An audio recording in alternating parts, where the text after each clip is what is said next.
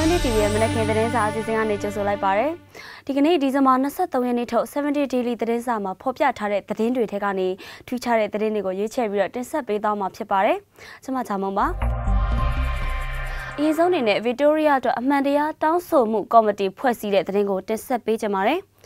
ဗီတိုးရီးယားအတွက်တရားမျှတမှုကိုရည်ဆုံးရည်ဖြာရင်ဆိုင်ဖို့ဆိုပြီးအမတရားတောင်းဆိုမှုကော်မတီကိုမနေ့ကစပြီးတော့အဖွဲ့စည်းလိုက်တယ်လို့အဲ့ဒီကော်မတီကိုဆောင်ရွက်မဲ့စာရေးဆရာဦးထင်လင်းဦးကပြောပါတယ်ကော်မတီအနေနဲ့ဗစ်တိုးရီးယားရဲ့ထိခိုက်နစ်နာမှုအတွက်တာဝန်ယူမှုတာဝန်ခံမှုတွေကိုတောင်းဆိုဖို့အမှုကိစ္စအမှန်တရားပေါ်ပေါက်ဖို့နဲ့တရားမျှတမှုရရှိဖို့ရည်ဆုံးရည်ဖြာရင်ဆိုင်မှုဖွဲ့စည်းတာဖြစ်တယ်လို့လည်းသူကပြောပါတယ်။ အမှုကဒီလိုနဲ့ပြီးလို့မရဘူးအမှုမှန်ပေါ်ပေါက်ဖို့လိုအပ်တယ်လိုအပ်တဲ့အချိန်မှာရေရှည်အမှုမပြီးမချင်းပြီးဆုံးတဲ့အထိအမှန်တရားပေါ်ပေါက်ဖို့အတွက်ဆက်ပြီးတော့တောင်းဆိုဖို့မမမမတ်ရက်တီပေးဖို့ပြည်သူလူထုကတရားမျှတမှုကိုလိုလားမှုကိုပြဖို့ကော်မတီကိုဖွဲ့လိုက်တာပါလို့ဦးထင်လင်းဦးကပြောလိုက်ပါတယ်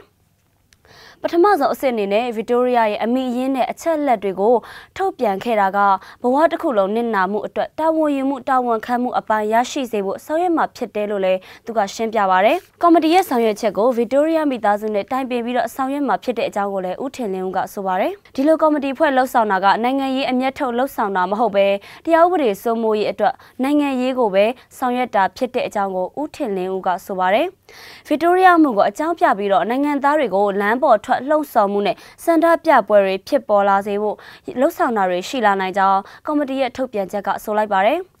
လက်ရှိမှာဖွဲ့စည်းပုံအခြေခံဥပဒေပြင်ဆင်မှုနီးကပ်လာချိန်မှာဗစ်တိုးရီးယားကိစ္စကိုခုတုံးလုပ်ပြီးတော့မလုံသင့်ပဲမလိုလားအပ်တဲ့ပြဿနာတွေပြိပခတွေကိုဖန်တီးသူတွေရဲ့လှည့်ကွက်ထောင်ချောက်ထဲကိုမဝင်မိကြဖို့ကော်မတီအနေနဲ့အသိပေးလိုကြောင်းထုတ်ပြန်ချက်မှာလည်းပါရှိပါတယ်။ ဗစ်တိုးရီးယားမိသားစုကိုလိုက်ပါကူညီပေးသူဒေါက်တာဝင်းကိုကိုသိန်းက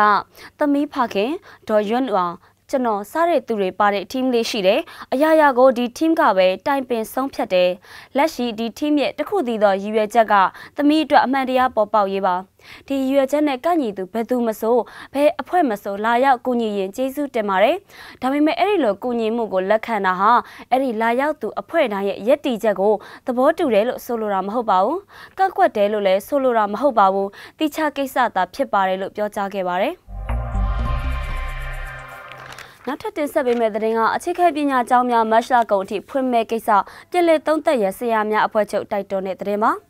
အခုပညာသင်နှစ်ကစပြီးတော့အခြေခံပညာကျောင်းတွေကိုမတ်လကုန်အထိဖွင့်ဖို့ပညာရေးဝန်ကြီးဌာနကသတ်မှတ်တာကိုအပြင်းထန်ကန့်ကွက်ပြီးတော့ပြန်ပြီးသုံးသပ်ဖို့မြန်မာနိုင်ငံလုံးဆိုင်ရာဆရာဆရာမများအဖွဲ့ချုပ် MTF ကဒီဇင်ဘာ22ရက်မှာသဘောထားထုတ်ပြန်တိုက်တွန်းခဲ့ပါတယ်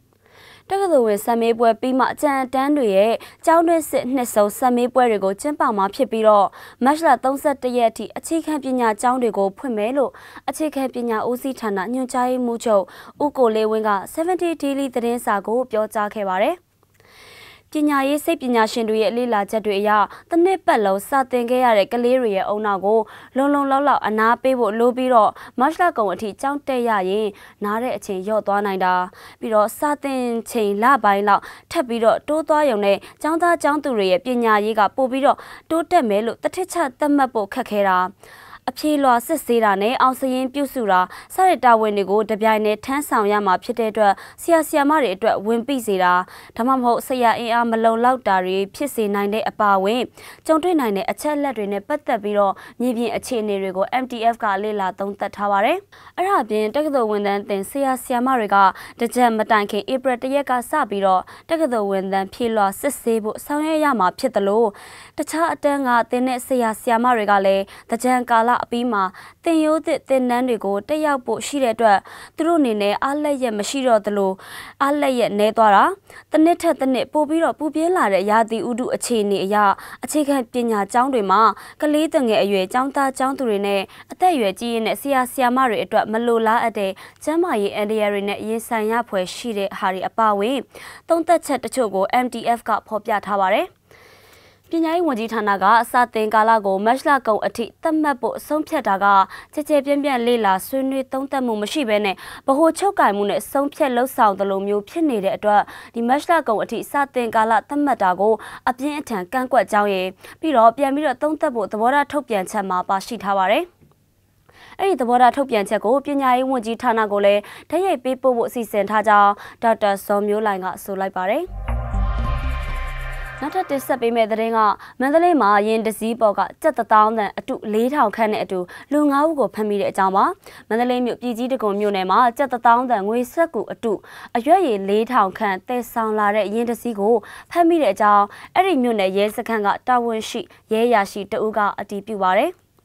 ငွေဆက်ကူအတုဖမ်းဆီးရမိတာမှန်ကန်ပါတယ်။တိုင်းရဲတပ်ဖွဲ့ကစစ်ဆေးတာဖြစ်တယ်လို့ပြည်ကြီးတကုံမြို့နယ်ရဲတပ်ဖွဲ့ကတာဝန်ရှိသူတဦးကပြောပါတယ်။ဒီဇင်ဘာ22ရက်နေ့နက်ကပြည်ကြီးတကုံမြို့နယ်ရန်ကုန်မန္တလေးအမြန်လမ်းဟောင်းနဲ့ရတနာပုံတက္ကသိုလ်လမ်းခွဲအနီးမှာအိမ်စီးရင်တစည်းနဲ့တေးဆောင်လာတဲ့ကြက်တောင်းတန်ငွေဆက်ကူအတုတွေကိုဖမ်းဆီးရမိတာဖြစ်ပါတယ်။အဲဒီငွေဆက်ကူအတုတွေကိုဖမ်းဆီးရမိတာနဲ့ပတ်သက်ပြီးတော့လူ9ဦးကို2023မြန်မာနိုင်ငံတော်ဗဟိုဘဏ်ဥပဒေပုံမှ1 106 109နဲ့အမှုဖွင့်ထားပါတယ်။ရဲတပ်ဖွဲ့ကကြိုပြီးတော့သတင်းရတဲ့အတွက်စောင့်ဆိုင်ပြီးဖမ်းဆီးတာဖြစ်တဲ့အကြောင်းအဲ့ဒီဖမ်းဆီးမှုကိုမျက်မြင်ကြုံတွေ့သူတဦးကပြောပါရယ် ရဲကားကရှေ့ကိုပိတ်ရက်ပြီးတော့ရဲတွေဝိုင်းလာပြီးဖမ်းသွားတယ်။ကားကအိမ်စီးစလုံးကားလေးလို့သူကပြောပါရယ်။လမ်းဘတ်ဆက်သွယ်ရေးအရာအချက်ချာကြပြီးတော့တရုတ်နဲ့အိန္ဒိယနိုင်ငံစတဲ့အနေဆက်ကုံသွယ်ရေးလမ်းကြောင်းနဲ့တရက်ထိဆက်နေတဲ့မန္တလေးမှာမူရစ်ဆေးဝါးနဲ့တရားမဝင်လက်နက်ပစ္စည်းတွေလည်းမကြာခဏဖမ်းဆီးရမိတယ်လို့သိရပါရယ်။နောက်ဆုံးအနေနဲ့နိုင်ငံတကာသတင်းပုတ်ကိုဖတ်ပြပြီးတော့အဆုံးသတ်ချင်ပါတယ်။သမ္မတဒေါ်နယ်ထရမ့်ကဗြိတိန်ဝန်ကြီးချုပ်ကိုအိမ်ဖြူတော်ကိုဖိတ်ကြားတဲ့သတင်းပါ။ အမေရိကန်သမ္မတဒေါ်နယ်ထရမ့်ကဗြိတိန်ဝန်ကြီးချုပ်ဘော်ရစ်ဂျွန်ဆန်ကိုနှစ်သစ်မှာအင်ဖြူတော်ကိုလာရောက်လဲပတ်ဖို့ဖိတ်ကြားထားတယ်လို့ဗြိတိန်မီဒီယာကဒီဇင်ဘာ22ရက်မှာဖော်ပြပါရယ်။လက်တလော်ရွေးကောက်ပွဲမှာဗြိတိန်ဝန်ကြီးချုပ်အနိုင်ရပြီးတဲ့နောက်ဂျွန်ဆန်ကိုထရမ့်ကဖိတ်ခေါ်ခဲ့ကြောင်း Sunday Times သတင်းစာကဖော်ပြပါရယ်။ဂျွန်ဆန်ရဲ့အလဲပတ်ခရီးစဉ်နဲ့ပတ်သက်ပြီးတော့တရားဝင်ဆွေးနွေးမှုတွေမကျင်းပရသေးဘူးလို့ဒေါင်းနယ်လမ်ကိုကိုးကားပြီးတော့ Sunday Times သတင်းစာကဖော်ပြပါရယ်။ အင်ဖီရိုနဲ့နီးစပ်တဲ့အရင်မြစ်တစ်ခုကိုကိုးကားပြီးတော့ Sunday Times ကထပ်ပြီးဖော်ပြတာက